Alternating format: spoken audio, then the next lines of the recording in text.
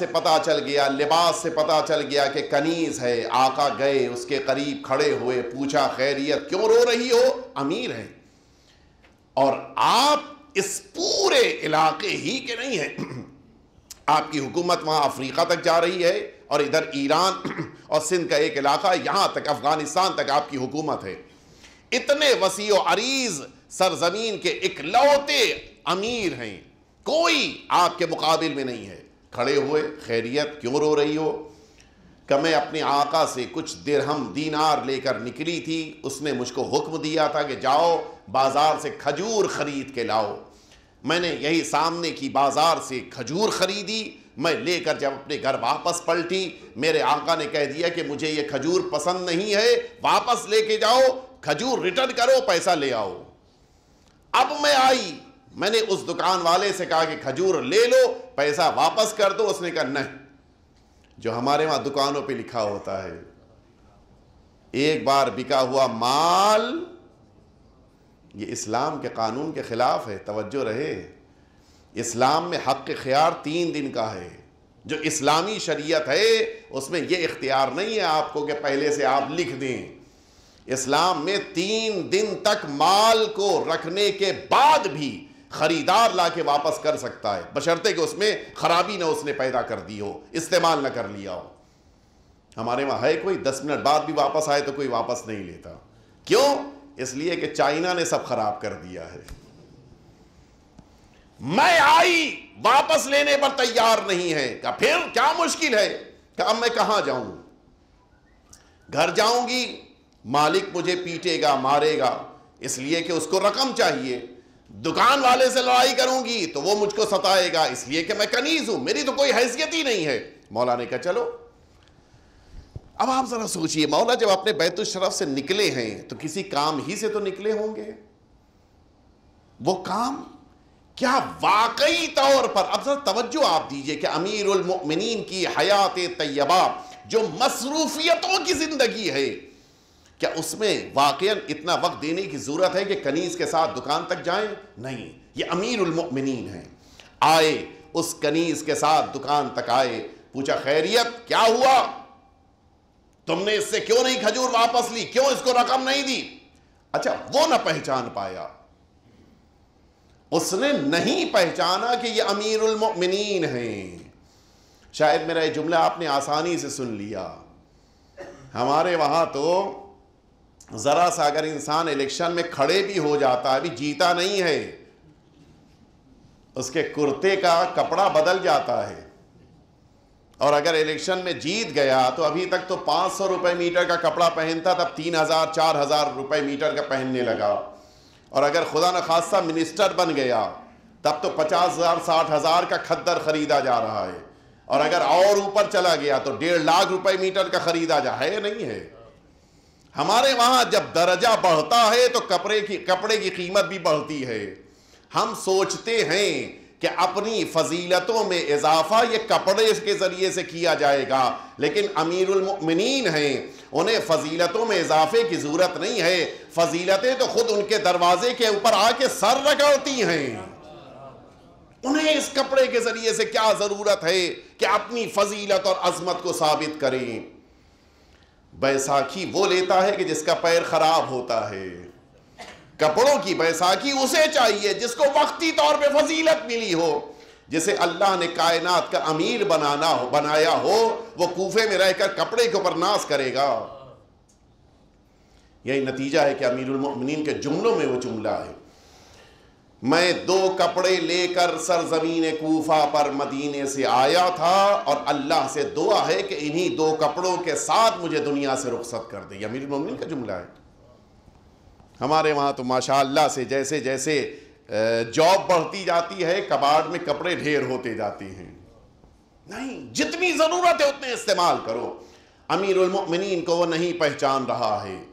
کہتا ہے اب ظاہر ہے کہ وہ لفظیں تو میں نہیں استعمال کر سکتا، میں تو محترمانہ انداز میں کہوں گا، آپ کیوں بیچ میں بول رہے ہیں؟ آپ سے کیا مطلب؟ کہ میں اس کا حق دلانے آیا ہوں۔ کہ نہیں، میں نہیں اس سے واپس لینے والا کھجور، کہ تمہیں لینا پڑے گا۔ شریعت کا قانون ہے کہ میں نہیں لوں گا، کیا کرنا ہے؟ کر لینا۔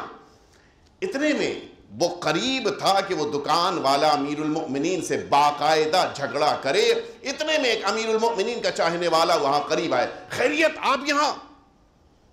کہ اس کنیز کا حق دلانے آیا ہوں۔ اس نے دکان والے سے کہا کہ جانتے ہو کس سے جھگڑا کر رہے ہو؟ میں کیا جانوں؟ کہ یہ کائنات کے امیر ہیں۔ یہ اسلامی مملکت کے حاکم ہیں۔ دیکھیے، واقعی طور پہ یہ بار بار جملہ کہنے کو دل چاہتا ہے۔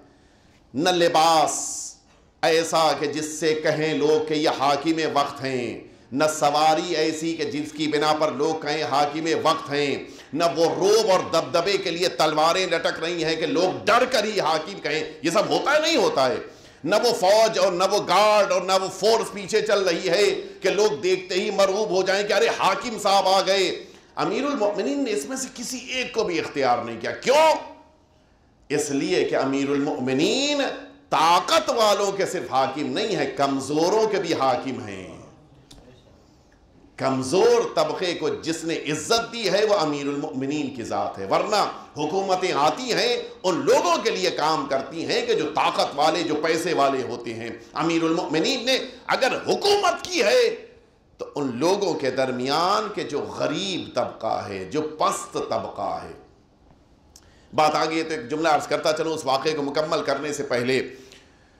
حجاج بن یوسف سقفی جس موقع پر دنیا سے گیا ہے، اس کے زندان میں تیس ہزار قیدی تھے۔ بہت بڑی تعداد ہے۔ تیس ہزار قیدی۔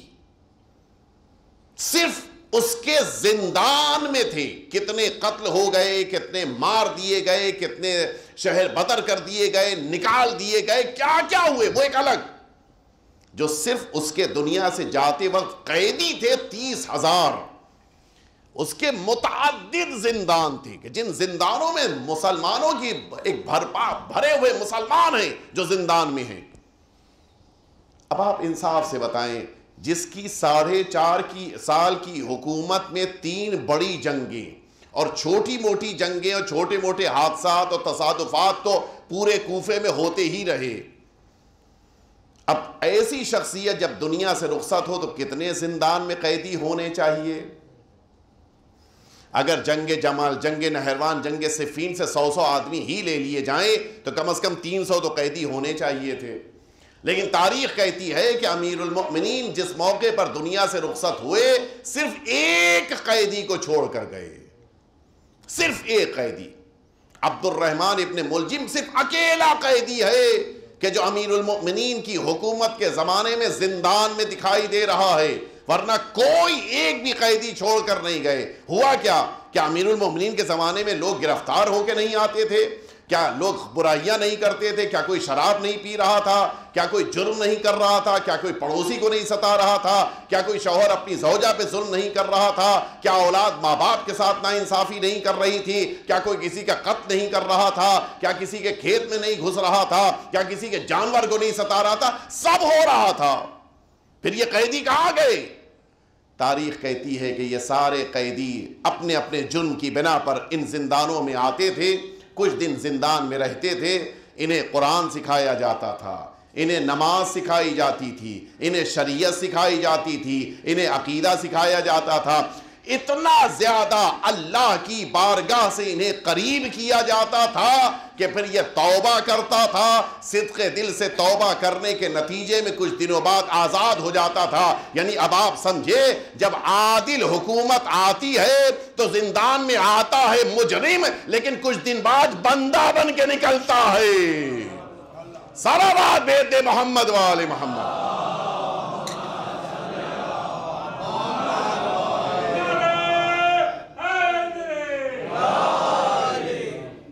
ایسی حکومت، عادل حکومت کہلاتی ہے۔ اپنے مخالفین کو دبانے کے لیے زندانوں کو بھر دینا یہ کمال نہیں ہے۔ اپنے مخالفین کو بھی اپنا بنا لینا یہ اصل کمال ہے۔ امیر المؤمنین کے زندان میں قیدی کچھ دنوں بعد قیدی نہیں رہ جاتا تھا۔ معلم قرآن، عالم قرآن، نمازیں پڑھنے والا، عبادتیں کرنے والا شب زندہ داری کرنے والا یعنی وہ انسان جو برا تھا، وہ بہترین انسان بن گیا۔ جیسے ہی اس کو پتا چلا کہ یہ امیر المؤمنین ہیں، یہ حاکم وقت ہیں، وہ قدموں میں گر پڑا۔ مجھے معاف کر دیجیے، کہ ایک شرط پہ معاف کروں گا۔ کیا؟ کہ وعدہ کرو کہ آئندہ اگر کوئی اپنا حق لینے آئے یا آئے کوئی عورت ہو یا مرد ہو، تم اس کا حق اسے ادا کرو گے۔ کیا ٹھیک ہے؟ میں وعدہ کرتا ہوں آپ سے۔ ابھی کیا کرنا ہے؟ کہ اس کو پیسہ واپس کرو، کھجور اس سے لو۔ مولا کے کہنے کی بنا پر اس نے کھجور لی، پیسہ واپس کر دیا۔ اب تو قضیہ ختم ہو گیا، بات مکمل ہو گئی۔ وہ کنیز آگے بڑھی، کھجور کے اس رقم کو اپنے ہاتھ میں لیے، کھجور دے چکی ہے، کچھ آگے بڑھی، پھر کھڑی ہو کے رونے لگی۔ اب تو مولا کو چلے جانا چاہیے تھا۔ سارا میٹر سالو ہو گیا، سارا قضیہ ختم ہو گیا، ساری پرابلم ختم ہو گئی۔ مولا پھر رکے، آئے، اس کے پاس آنے کے بعد پوچھا کہ خیریت، اب کیوں رو رہی ہو؟ کہتی ہے مولا، آپ میرے مسئلے کو آپ نے حل کر دیا، آپ کا بہت شکریہ۔ پھر کیوں رو رہی ہو؟ کہ اب مشکل دوسری ہے۔ وہ کیا مشکل ہے؟ کہ اب مشکل یہ ہے کہ میں اپنے گھر سے نکلی تھی، آئی تھی اس کے پاس۔ اس کو بڑی دیر تک مطمئن کرتی رہی کہ مجھ سے کھجور واپس لے لو، اس نے نہیں لیا۔ کافی وقت اس میں گیا۔ پھر آئی میں کھڑے ہو کے گریا کر رہی تھی، کچھ دیر اس میں گیا۔ آپ آئے، آپ نے مجھ سے پوچھا، میں نے آپ کو ساری بات بتائی، کچھ وقت اس میں گیا۔ پھر آپ کے ساتھ دکان پر آئی۔ اس دکان پہ کھڑے ہو کے آپ کے اور اس کے درمیان اختلاف ہوا۔ کچھ وقت اس میں نکل گیا۔ پھر آپ کا ایک چاہنے والا آیا۔ اس نے اس کو ساری بات بتائی، یہ آپ کے قدموں میں گرا۔ کچھ وقت اور نکل گیا۔ پھر اس نے مجھ سے کھجور واپس لی اور مجھ کو رقم واپس دی۔ اس میں اور وقت نکل گیا۔ اب اگر اتنا وقت گزارنے کے بعد میں اپنے آقا کے پاس واپس جاؤں گی تو مجھے وہ کوڑے سے مارے گا۔ اتنی دیر لگا دی۔ اب کیا ہونا چاہیے؟ مولا فرماتے کہ چلو، میں تمہیں تمہارے گھر تک پہنچاؤں گا۔ ہماری جانیں نثار ہو جائیں۔ کائنات کا امیر ایک کنیز کو کوڑے سے بچانے کے لیے اس کے گھر تک جا رہا ہے۔ معمولی بات نہیں ہے۔ بیان کر دینا، کہہ دینا، ذکر کر دینا آسان ہے۔ عملی زندگی میں لے کر آئیے بہت مشکل کام ہے۔ آئے، فرماتے ہیں کہ چلو میں تمہارے گھر چلتا ہوں۔ اس نے کہا، چلیے۔ کہا، میں آگے چلنا ہوں، تم میرے پیچھے آؤ۔ یہ اسلامی قوانین میں سے قانون ہے کہ جب نامحرم ہو تو اس کو پیچھے چلنے کے لیے کہا جائے۔ نہ یہ کہ اس کے پیچھے چلا جائے۔ وہ ایک اپنے ریزنز ہیں، اپنی ایک گفتگو ہے جو یہ سب مجھے نہیں پیش کرنی ہے۔ امیر المؤمنین آگے جا رہے ہیں، وہ راستہ بتاتی ہوئی امیر المؤمنین کے پیچھے پیچھے آئی، دروازے پر پہنچے تقل باب کیا۔ اچھا اتفاق یہ کہ اس کنیز کا مالک جو یہودی تھا، وہ امیر المؤمنین کو پہچانتا تھا۔ دروازہ کھولا۔ اب جو امیر المؤمنین کے چہرے انور پہ نظر پڑی، سرکار، آپ کہ تمہاری کنیز کی سفارش لے کے آیا ہوں خیریت کیا ہو گیا؟ کہ اس کنیز کا یہ کہنا ہے کہ دیر ہو چکی ہے۔ اب اگر یہ اس تاخیر کے ساتھ تمہارے گھر میں آئے گی تو تمہارے غصے کو برداشت کرنا ہوگا۔ جملہ سنیں گے۔ کہتا ہے وہ یہودی کہ مولا، آپ میرے دروازے پہ آ گئے آپ کے قدموں کی برکت کی بنا پر اس کنیز کو میں نے اللہ کی راہ میں آزاد کر دیا۔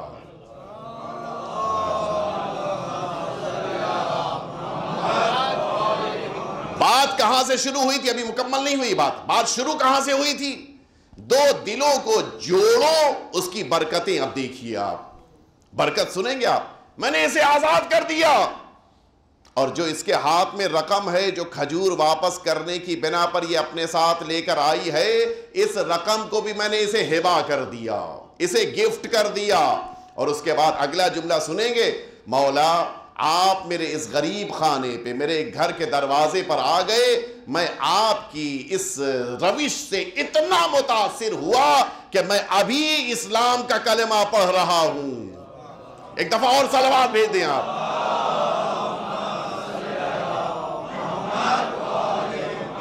اور بات ابھی ختم نہیں ہوئی ہے۔ اچانک اندر سے آواز آئی کہ جنت اکیلے جاؤ گے۔ کیا کہنا چاہ رہی ہو؟ کہ ابھی تک تو تمہارے ساتھ تھی، اب جنت اکیلے جانا چاہتے ہو۔ کیا کہنا ہے؟ کہ میں بھی اسلام لے کر آ رہی ہوں۔ شوہر بھی اسلام لایا، زوجہ بھی اسلام لائی کنیز بھی اللہ کی راہ میں آزاد ہوئی، جو مال دوسرے کا تھا، اس کی مالک بھی بن گئی۔ اب آپ سمجھے، ایک اگر دلوں کے جوڑنے کا کام کر دیا جائے، تو اتنی برکتیں سامنے آتی ہیں۔ دلوں کو جوڑنے سے یہ برکت ملتی ہے۔ لہٰذا ہمیشہ یہ کوشش ہونی چاہیے کہ دلوں کو جوڑا جائے۔ میں وقت